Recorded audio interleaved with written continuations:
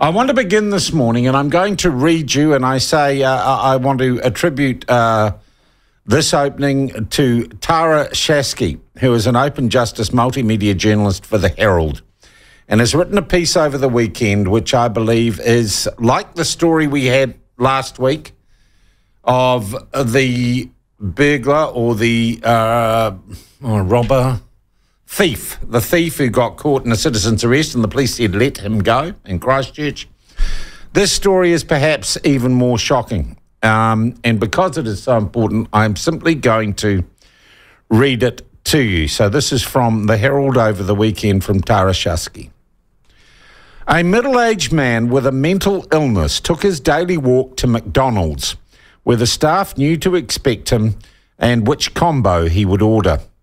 But while waiting for his meal inside the family restaurant, he was stabbed and brutally beaten, all because of the red jersey he was wearing. Up to 13 Black Power members and associates took part in the attack at the Hāwera McDonald's in South Taranaki on September the 12th last year, as staff and diners watched on in horror. While some of the men remain un- unidentified, eight were arrested and charged for the sustained beating, and on Friday, seven were sentenced in the New Plymouth District Court. The sentencings drew a heavy gang presence to the courthouse, as well as police, and due to the numbers of offenders, the hearings took place over three sittings throughout the day. Each hearing saw the public gallery at capacity with supporters who threw up their clenched fists and yelled the gang slogan, Yoza, in tribute to their comrades as they were taken away by correction staff to begin their sentences. Judge Tony Greig opened each hearing by offering a chance for karakia, which was taken up by one matua at the second sitting who spoke from the gallery. The judge then advised that he and the court would treat the offenders and their supporters with respect, and he expected the same in return.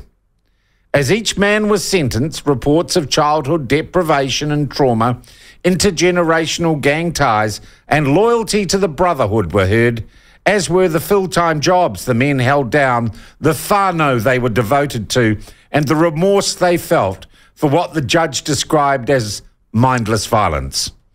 The level of involvement in the attack in the attack varied between the men, and some were jailed while the rest were given home detention. What was mostly consistent were the bumper discounts applied to the sentences. Um, and look, I could go on, but you will just lose your stuff. You will lose your stuff. Uh, I do. Can I just thoroughly recommend you read the story in its entirety? But you get the picture you get the picture. And I think New Zealand has got the picture for a while.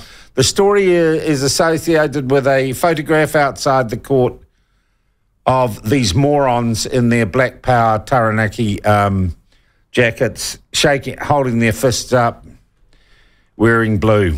And I, I think it's a bloody sad story played out time and time again in New Zealand. Um, but uh, let's talk to someone who might be able to do something about it. Um, Shane Jones, uh, New Zealand First candidate, and as we said on this program, law and order is a big issue.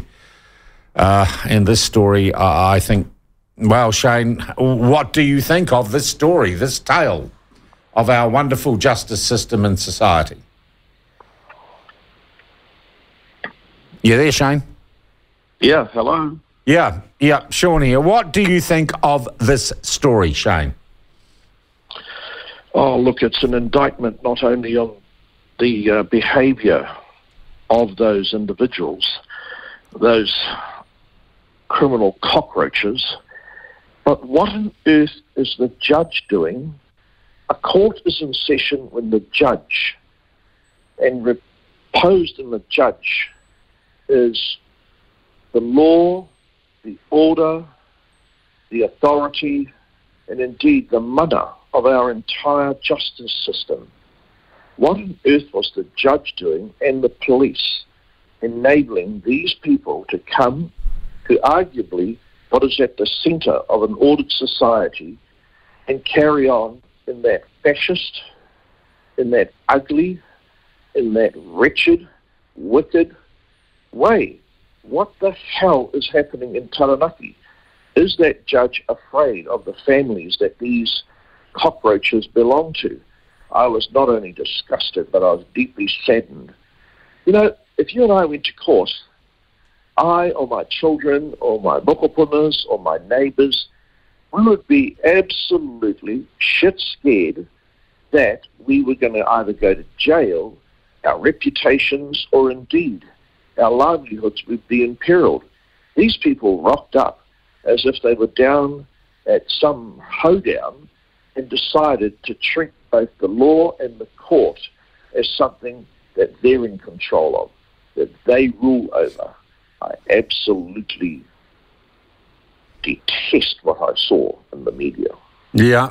And Judge Tony Greig gives them the chance, though, of a karakia before their hearings. Is that appropriate?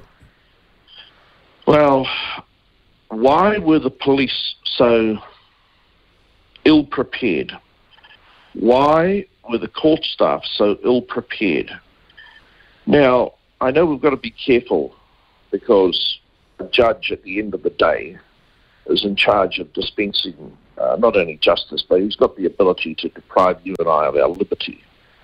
And uh, both uh, both of us have had experiences with uh, the judicial system. To me, it's it's not really about the karakia. To me, it's about the fact that they were able, number one, to arrive in their intimidating, ugly colours, but more importantly, they were able to just to rock up to court and treat it as if they were down at some party. They were down at some pub that they'd taken over, and they were basically urinating, figuratively speaking, over the rest of us. Because if you don't rely on the law, and if you can't trust the law to be the basis of ordering our society, what the hell have we got as a society? Nothing other than naked, ugly, wretched, black power, intimidation. Yeah. Well, you know, I don't know. Gangs seem to be quite acceptable, despite the fact that the Prime Minister says, oh, the Labor's got no tolerance for them. They have given them millions in drug rehab funding. Harry Tam, a former gang leader, I think Mongrel Mob, I'm not sure which, I don't really care. Harry Tam gets hundreds of thousands of dollars for writing I know reports about how all these people have had tough upbringings, which is why they're thugs. And we see over the weekend, Shane, that basically, uh, I think the mongrel mob down in Christchurch had a Labor candidate um, attend one of their meetings, and they've basically declared themselves as wanting to ensure that Labor stays the government. I, I'm not entirely sure if I've ever met Harry Tam or indeed um, O'Reilly, I know. Mm. O'Reilly's brother, I think, was a human rights commissioner yeah, back in right. the 90s. Yeah. Um, and look, good on these guys if they're trying to bring these cockroaches, these parasites, into the world of light.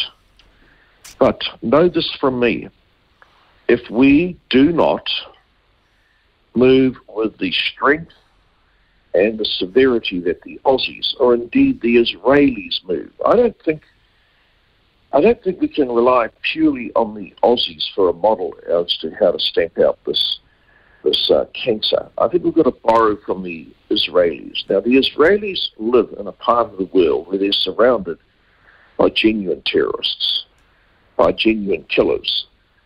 These people, yes, they do kill. They are thugs, and they have um, the brains of a grasshopper's private parts. However, the difficulty I see is that it's going from one generation to another. There's between eight to ten thousand of um, these individuals on a on a police gang list, apparently. This notion that they have access to universal entitlements, they have access to universal rights. I would strip them of their rights in a nanosecond if, ena- if it enabled us to teach and force them to accept you have no rights in the absence of refusing to embrace duties and obligations, why the hell should the community and the rest of us live either in fear or live in trepidation that they might look at us one day, they might attack us one day? You know, New Zealand, sadly, our liberal traditions, our love of freedom, our love of uh, enjoying the traditions and the rights that we've taken for granted are being not only trounced, they're being absolutely abused by the very existence of these groups. I hate it, mate, and I'm thoroughly behind what Winston has been saying. Mm. We'll give them one chance to come into the world of light, and after that, we'll borrow an approach championed by the Israelis of getting rid of this cancer. All right. You would be broadly then in support of the tougher policies being advocated by the National Party as well in relation to law and order. Now, the National Party have simply been magpies and they've nicked what Winston and I have been saying for the last several years. I doubt, however, that the National Party will be able to deliver. Uh, I've got a great deal of um, respect, and I genuinely do appreciate the stance taken by Mark Mitchell when he was a cop. He's worked overseas, and I think he does have the strength. However, I'm not confident that the other uh, National Party senior MPs will follow through with this business. You know, let's let, us let us be honest here. The victims of the Black Power are their own people.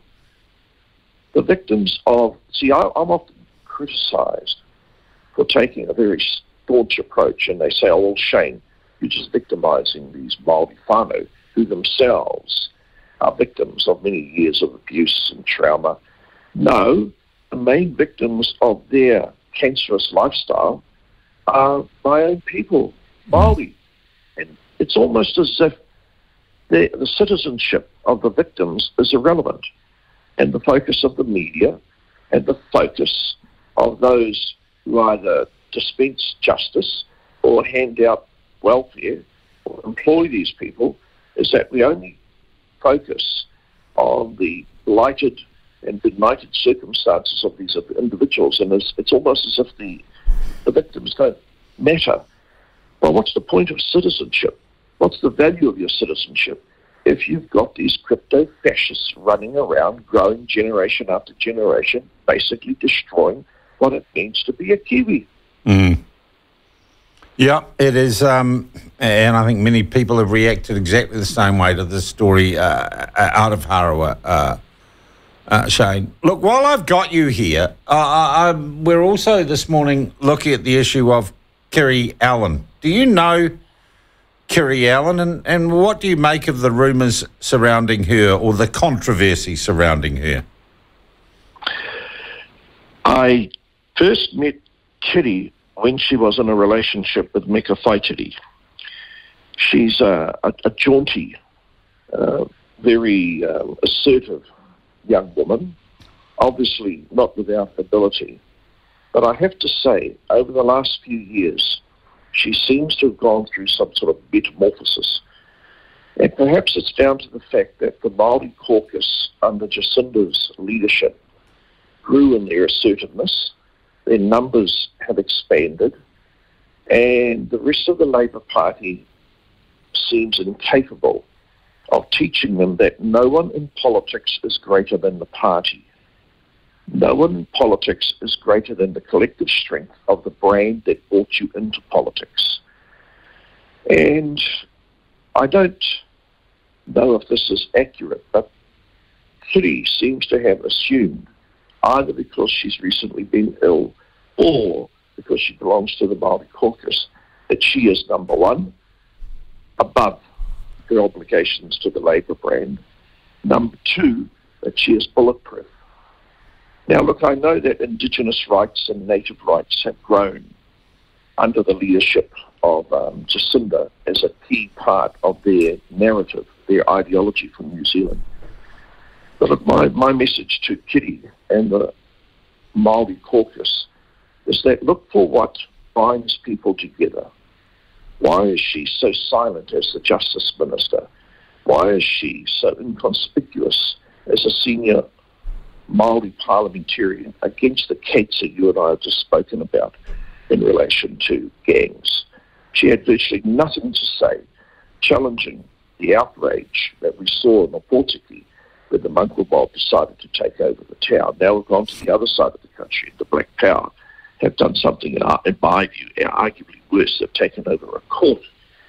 So, look, I can't account for why this native bird is running around picking all the other birds, but it's uh, very, very sad to see, and I believe that it shows the low ebb at which Māori politics has settled. Mm. Well, the government, of course, say no formal complaints, but my understanding is these are quite senior public servants that have concerns. What is the culture like in terms of ministers getting out of line or getting abusive to senior staff? What is the culture of complaint there in your experience? Well, I I'm no stranger to how frustrated ministers get when civil servants can't deliver what they want. And senior civil servants live in a rarefied atmosphere. There genuinely is a problem in New Zealand with the State Services Commission. It's got a new name now, and I'm sorry I can't exactly recall what it is public service something. Um, the leader, Peter Hughes, in my view, needs to hand in his resignation letter.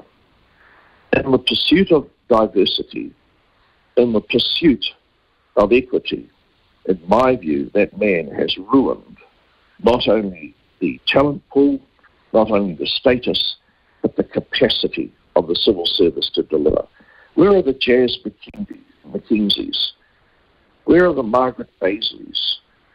Where are the Graham Scotts? Those are the tōtara trees that I recall in the 1980s, in the 1990s, the Don Hunns, who, when the government was restructuring the economy, you could rely on these people.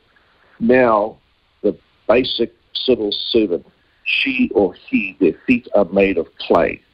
So it's highly likely that all of the ministers fr- uh, get frustrated and are unwilling to give them a free pass. The salaries, the perquisites, the entitlements of senior civil servants are vastly greater than members of parliament.